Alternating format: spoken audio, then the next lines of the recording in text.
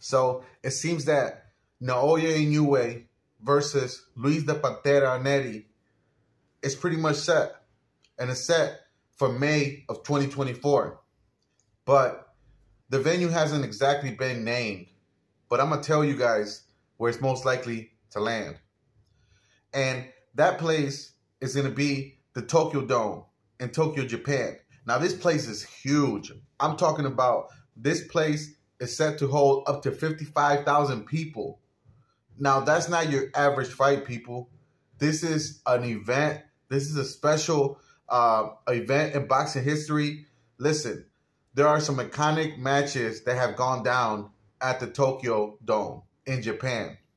Now, two of these fights were headlined, but one by one of boxing's biggest superstar names, a legend in the game, a living legend in the world of boxing, and that is uh, Mr. Mike Ironman Mike Tyson. That's right. Ironman Mike Tyson had two huge fights, and one of them was against Buster Douglas. And uh, the, the years that that happened in was one in 1988 and then one in 1990. You see, he won his first match in the Tokyo Dome, and it was a huge event. So they went back for it, and the second fight was between him and Buster Douglas. In that fight, though, he lost.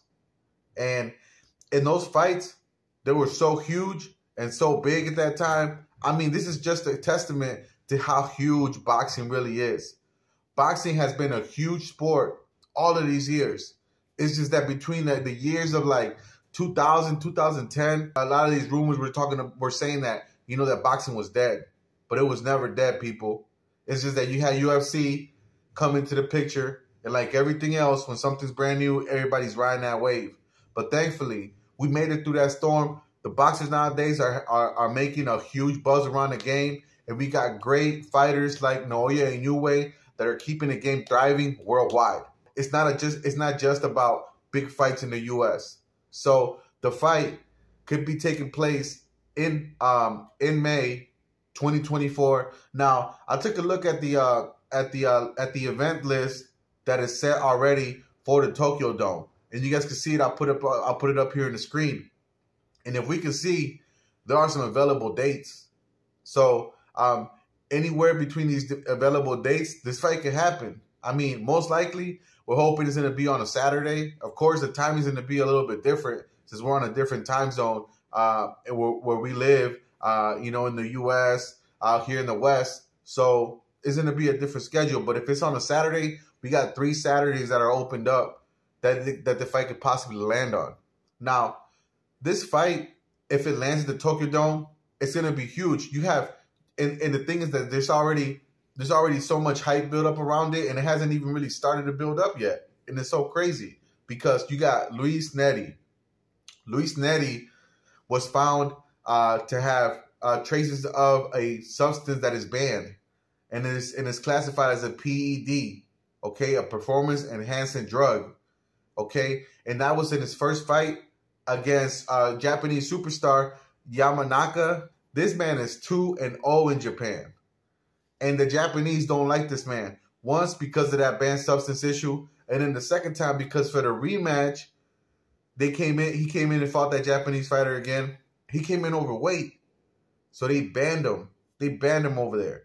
But you know, just like they banned him, they can lift the ban. And uh, Naoya Inoue had them lift that ban. So now there's going to be a fight that's going to be happening. It's going to be huge look, the build up around this, look, you're gonna have two. You're gonna have one of the biggest boxing communities in the game of boxing. The Hispanic community is one of the biggest economical drives in the world of boxing. Anytime you have a big uh, fight that includes a Mexican fighter, there's gonna be Mexicans showing up, rallying behind that person. Now, even though that person is a little controversial in this case, still, and I'm gonna tell you guys, there's a lot of Mexican uh, enthusiasts, enthusiasts, and fans of the world of boxing that are actually riding with Inoue. Me being one of them. You know, I think that Inoue, if you guys take a look through the videos on my channel, you guys will see. It's no question. I'm a huge Inoue fan. I'm a huge Inoue fan. But also, I see a lot of my comments, people are just saying that, oh, this guy's going to get whooped. in one round or whatever, which while all that might be possible, Luis Nery is still one of the one of the best fighters in the super bantamweight division. This guy still he's still he's still a, a force to be reckoned with. So uh, while I do think that Naoya Inoue will come out victorious, there's still always a chance, people. And this guy has upset it twice. Yes, granted that they're saying that you know that he he that uh, he had these these these um these uh, substances in his system. But look, also he's saying, look, I, I was I, I live in Mexico. I consume Mexico meat. Uh, the livestock in Mexico injected with these hormones and these and these chemicals, and they they trace up in in our system, you know. And I'm gonna tell you guys that that's that that is also something that is true. So, but that's not here there. We're not making a case scenario. All I'm saying is that in this case, if this man really thinks like, look, to y'all, I'm a dirty fighter, but me, I know I'm not dirty. I know I'm not dirty, and I beat that man fair square the first time. And the second time, just because y'all made me go back and thought that I was dirty the first time, I came the second time, and yeah, I came in overweight, but fuck it, I still beat him, and I slapped him up. Now to this, to to y'all, no, but to this man, he's thinking like I'm already two and zero oh out there, so I'm I'm gonna run it up and make it three and zero. Oh. That's all I'm saying, people. We gotta really think about this. But look, there are not very very big fights like this in the world of boxing. Like I said, uh, Tyson, Douglas, and uh, and the other fight that he had before that, there were huge events out there. This place hosts 55,000 people. This is to be huge. The only other huge event that goes down like that is like when you had Devin Haney go to Australia to fight George Kambosos to get all the belts. And that place holds like anywhere between 50 to 60,000 people also. And that was huge. Kambosos made 10 million guaranteed that night that first fight, how much y'all think that uh Naoya Inoue is gonna earn in this fight? He's gonna be in the tens, if not twelve million dollars. That is unheard of for a lot of the boxers. Ninety percent, ninety five percent of the boxers in the United States.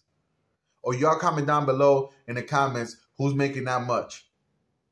Besides, of course, your very top, you know, one percent of the fighters or two percent of the fighters. You know, that being Tank Davis, which you know he took home uh, 30 to reportedly 100 million versus Ryan Garcia. Ryan Garcia took home 30.